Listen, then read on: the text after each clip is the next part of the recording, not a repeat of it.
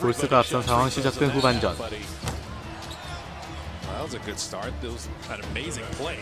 이번엔 휴스턴이 반격을 시도하는데요.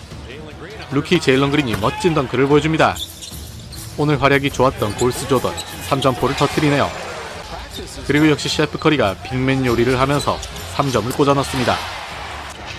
계속되는 골스의 리드 하지만 휴스턴도 이대로 보고만 있을 수는 없었죠 완벽한 sagging defense를 펼친 휴스턴.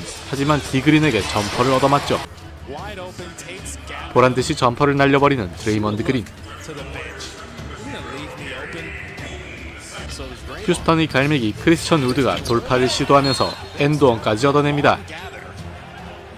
정말 긴 리치를 잘 활용하는 것 같네요. 계속되는 휴스턴의 공격. 골 밑에서 공을 잡은 우드가 덩크로 마무리합니다 베이스라인을 파고든 비엘리차의 패스 그리고 게리 페이튼 주니어의 마무리. 비엘리차는 슛감을 확인합니다. 그리고 이번에는 alley-oop 패스를 건네받은 깨페주. 스테픈 커리의 3점까지 터지고 점수차는 계속해서 벌어집니다. 그리고 비엘리차 코너에서 3점까지 성공시키죠. 이번엔 다시 스테픈 커리.